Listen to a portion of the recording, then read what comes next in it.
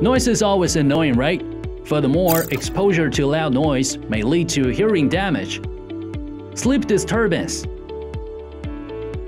productivity decline, poor concentration, and etc.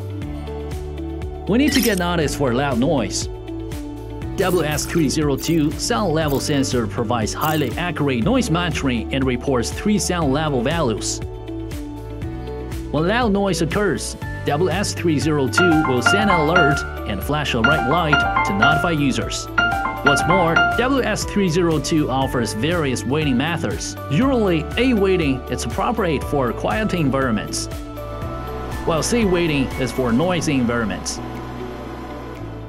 And fast time weighting uses a time constant of 125 milliseconds for measuring unstable noise with large fluctuations.